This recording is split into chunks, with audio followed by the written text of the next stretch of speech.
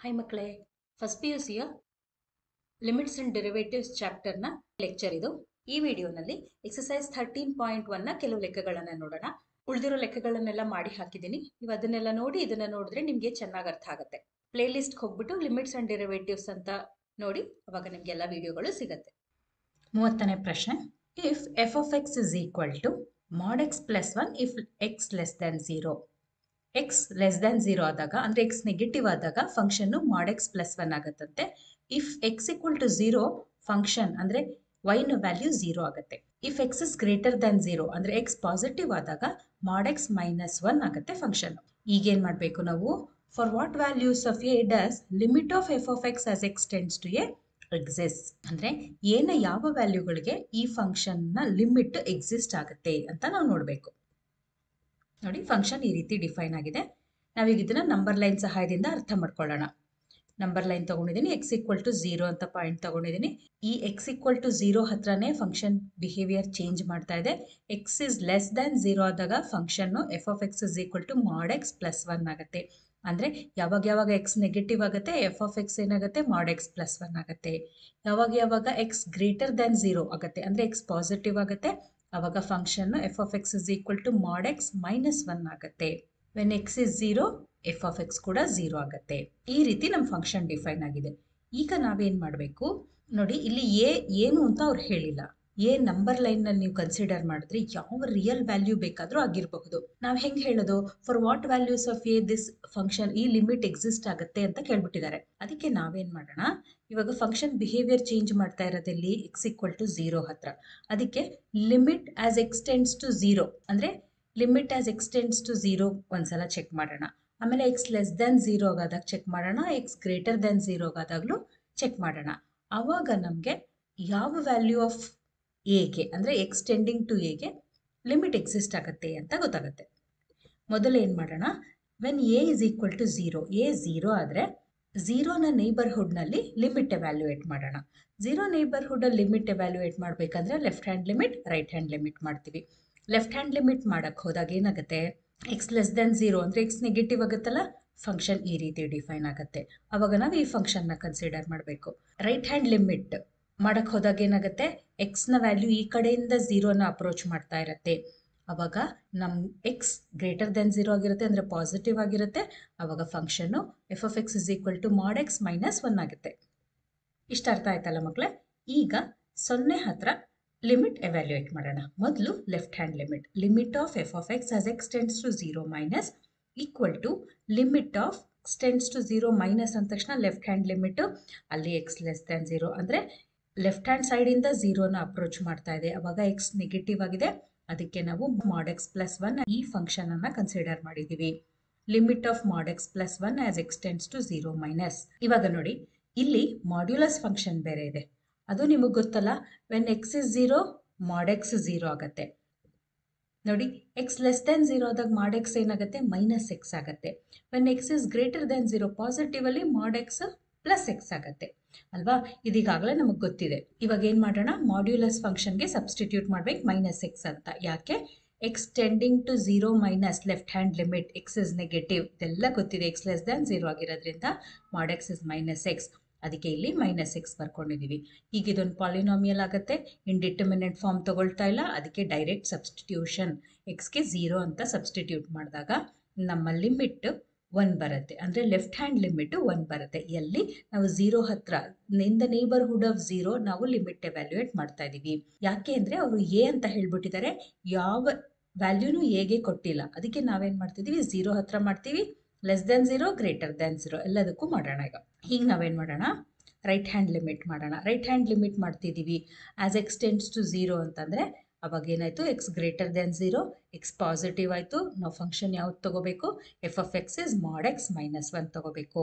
When x is greater then mod x ಏನಾಗುತ್ತೆ? Plus x ಆಗುತ್ತೆ. X is less then zero mod x minus x ಆಗಿದೆ ಈಗ ಇಲ್ಲಿ. ಈಗ right hand ಲಿಮಿಟ್ಗೆ limit of f of x as x tends to zero plus that is equal to limit of mod x minus one as x tends to zero plus ನೋಡಿ mod x minus one ಈಗ modulus function ಹೇಗೆ behave ಮಾಡುತ್ತೆ? ಝೀರೋಗಿಂತ ಜಾಸ್ತಿ ಇದ್ದಾಗ, ಅಂದರೆ positive ಆದಾಗ X ಆಗಿರುತ್ತೆ. ಅದಕ್ಕೆ ನಾವಿಲ್ಲಿ x minus one ಬರ್ಕೊಂಡಿದ್ದೀವಿ limit of x minus one as x tends to zero indeterminate form ಏನು ಬರ್ತಾ ಇಲ್ಲ. ಅದಕ್ಕೆ ಡೈರೆಕ್ಟ್ ಸಬ್ಸ್ಟಿಟ್ಯೂಷನ್ನು ನಮ್ಮ ಉತ್ತರ minus one right hand limit left hand limit ಎರಡೂ ಸಮ ಇಲ್ಲ. ದೇ ಆರ್ ನಾಟ್ ಈಕ್ವಲ್ ಅವಾಗ ಏನು ಹೇಳ್ಬೋದು? ಲಿಮಿಟ್ ಡಸ್ ನಾಟ್ ಎಕ್ಸಿಸ್ಟ್ ಯಾವಾಗ?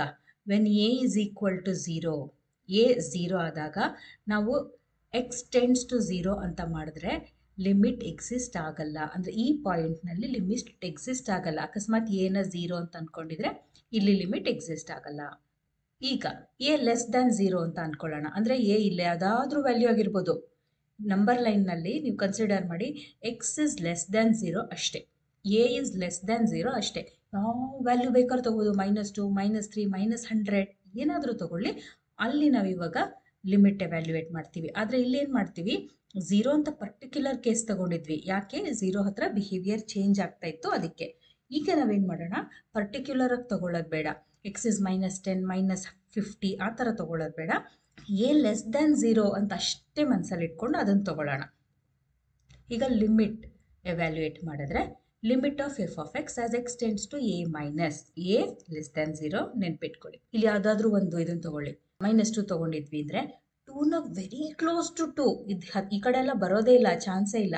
ಮೈನಸ್ ಟುಗೆ ತುಂಬ ಹತ್ತಿರದಲ್ಲಿ ನಾವು ಲಿಮಿಟ್ ಎಮ್ಯಾಲ್ಯೂಯೇಟ್ ಮಾಡ್ತಾ ಇದ್ದೀವಿ. ಅಂದರೆ in the neighbourhood of minus two minus five ತೊಗೊಂಡಿದ್ರೆ in the neighbourhood of minus five ಈ ಕಡೆ ಬರೋಕ್ಕೆ ಸಾಧ್ಯನೇ ಇಲ್ಲ ಅಲ್ವಾ? ಲೆಫ್ಟ್ ಹ್ಯಾಂಡ್ ಲಿಮಿಟ್ ತಗೊಳ್ಳಿ ರೈಟ್ ಹ್ಯಾಂಡ್ ಲಿಮಿಟ್ ತಗೊಳ್ಳಿ. ಏನು ತೊಗೊಂಡ್ರು ನಾವು ಫಂಕ್ಷನ್ ಯಾವುದನ್ನು ಯೂಸ್ ಮಾಡಬೇಕು ಮಾಡೆಕ್ಸ್ ಪ್ಲಸ್ ಒನ್ನೇ ಯೂಸ್ ಮಾಡಬೇಕಾಗತ್ತೆ. ಫಂಕ್ಷನ್ ಡಿಫೈನ್ ಆಗಿರೋ ಪ್ರಕಾರ. ಅವಾಗ ಲೆಫ್ಟ್ ಹ್ಯಾಂಡ್ ಲಿಮಿಟ್ಗೆ ಏನಾಗುತ್ತೆ? Limit of mod x plus one as x tends to a minus ಈಗ limit of x less then zero ಅಲ್ವಾ? ಮಾಡ್ಯುಲಸ್ ಫಂಕ್ಷನ್ ಏನಂತ ಆಗುತ್ತೆ? ಮೈನಸ್ ಎಕ್ಸ್ ಆಗುತ್ತೆ. ಅದಕ್ಕೆ limit of minus x plus one as x tends to a ಮತ್ತು that is equal to minus a plus one ಆಯಿತು. ಇದು left hand limit ಆಯಿತು. ಈಗ ರೈಟ್ ಹ್ಯಾಂಡ್ ಲಿಮಿಟ್ ವ್ಯಾಲ್ಯೂಯೇಟ್ ಮಾಡಿದ್ರೆ, ಇದು ಮೈನಸ್ ಟು ಅಂತ ಇಟ್ಕೊಂಡಿದ್ವಿ ಅಂದರೆ ರೈಟ್ ಹ್ಯಾಂಡ್ ಲಿಮಿಟ್ ಮಾಡಿದ್ರೂ ಎಕ್ಸ್ ನೆಗೆಟಿವೇ ಆಗತ್ತೆ. ಹೌದು ತಾನೆ? Limit of f of x as x tends to a plus ಏನಾಗುತ್ತೆ? That is equal to limit of mod x plus one as x tends to a plus ಅದಕ್ಕೆ ನೋಡಿ ಇಲ್ಲಿ ಯಾವ ಪಾಯಿಂಟರು ತಗೊಳ್ಳಿ. ಅದರ ನೇಬರ್ಹುಡ್ಡಲ್ಲಿ ನೋಡ್ತಾ ಇರೋದ್ರಿಂದ ನಾವು ಇದೇ ಫಂಕ್ಷನ್ನ right hand limit left hand limit ಎರಡಕ್ಕೂ ಉಪಯೋಗಿಸ್ಬೇಕು. ನಾವು ರೈಟ್ ಹ್ಯಾಂಡ್ ಲಿಮಿಟ್ಗೆ ಅದನ್ನು ಉಪಯೋಗಿಸಿದ್ದೀವಿ ಮಾಡ್ಯುಲಸ್ ಫಂಕ್ಷನ್ ಅಲ್ವಾ? ಎಕ್ಸ್ ಲೆಸ್ ದ್ಯಾನ್ ಝೀರೋ ಮತ್ತೇನು? ಮೈನಸ್ ಎಕ್ಸ್ ಅದಕ್ಕೆ limit of minus x plus one as x tends to a ಆವಾಗ ಮೈನಸ್ ಎ ಪ್ಲಸ್ ಒನ್ ಆಗುತ್ತೆ. ಇವಾಗ ನೋಡಿ left hand limit right hand limit ಎರಡೂ equal to minus a plus one ಅವಾಗ ನಾವೇನು ಹೇಳಬಹುದು? Limit of f of x exists as x equal to a where a is less than zero ಅಂದರೆ extending to a ಆಗಬೇಕು. A less than zero ಆದಾಗ limit exist ಆಗುತ್ತೆ. ಇಲ್ಲಿ ಯಾವ point ತಗೊಳ್ಳಿ ನಂಬರ್ ಲೈನ್ ಮೇಲೆ ಲಿಮಿಟ್ ಎಕ್ಸಿಸ್ಟ್ ಆಗುತ್ತೆ. ಝೀರೋನಲ್ಲಿ ಲಿಮಿಟ್ ಎಕ್ಸಿಸ್ಟ್ ಆಗಲಿಲ್ಲ. ಈಗಷ್ಟೇ ನೋಡಿದ್ವಲ್ಲ. ಈಗ ಎ ಗ್ರೇಟರ್ ದ್ಯಾನ್ ಝೀರೋ ನೋಡೋಣ. ಅಂದರೆ ಈ ಪಾರ್ಟಲ್ಲಿ ಅಂದರೆ ಎಕ್ಸ್ ಗ್ರೇಟರ್ ದ್ಯಾನ್ ಝೀರೋ ಆಗಬೇಕು. ಆ ಪಾಯಿಂಟ್ಸಲ್ಲಿ ನೋಡೋಣ. Limit of f of x as x tends to a minus equal to limit of ಇವಾಗ ನೋಡಿ.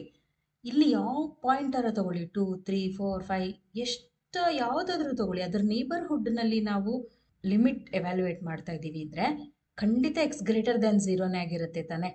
ಅಂದರೆ ನಾವು ಕನ್ಸಿಡರ್ ಮಾಡಬೇಕಾಗಿರೋ ಫಂಕ್ಷನ್ ಯಾವುದು? Mod x minus one L H L ಆಗಲಿ ಆರ್ ಹೆಚ್ ಎಲ್ ಆಗಲಿ, ಎರಡಕ್ಕೂ ಮಾಡೆಕ್ಸ್ ಮೈನಸ್ ಒನ್ನೇ ಕನ್ಸಿಡರ್ ಮಾಡಬೇಕು. ಈಗ ನಾವು ಎ ಗ್ರೇಟರ್ ದ್ಯಾನ್ ಝೀರೋ ಆದಾಗ limit x tending to a minus ಅಂತ ಇಟ್ಕೊಂಡು ಮಾಡಿದಾಗ limit of mod x minus one as x tends to a minus ಆಗುತ್ತೆ. ಮತ್ತಿಲ್ಲಿ ಈ ಪಾಯಿಂಟ್ನಲ್ಲಿ ಎಕ್ಸ್ ಗ್ರೇಟರ್ ದ್ಯಾನ್ ಝೀರೋ ಅಲ್ವಾ? ಮಾಡ್ಯುಲಸ್ ಫಂಕ್ಷನ್ ಹೇಗೆ ಬಿಹೇವ್ ಮಾಡುತ್ತೆ? ಮಾಡೆಕ್ಸ್ ಇಸ್ ಎಕ್ಸ್ ಆಗುತ್ತೆ. ಅವಾಗ ಇದು ಎಕ್ಸ್ ಮೈನಸ್ ಒನ್ ಆಯಿತು. ಈಗ ಮತ್ತೆ ಡೈರೆಕ್ಟ್ ಸಬ್ಸ್ಟಿಟ್ಯೂಷನು ಏನು ಬಂತು? ಎ ಮೈನಸ್ ಒನ್ ಇದು ನಮ್ಮ ಲೆಫ್ಟ್ ಹ್ಯಾಂಡ್ ಲಿಮಿಟ್ ಇದೇ ರೈಟ್ ಹ್ಯಾಂಡ್ ಲಿಮಿಟ್ಗೂ ನಾವು ಇದೇ ಫಂಕ್ಷನ್ ಉಪಯೋಗಿಸ್ತೀವಿ. ಈಗ ರೈಟ್ ಹ್ಯಾಂಡ್ ಲಿಮಿಟ್ ಮಾಡಿದ್ರೆ limit of f of x as x tends to a plus ಮಾಡೋಣ. ಆಗ್ಲೂ limit of mod x minus one as x tends to a plus ಆಯಿತು.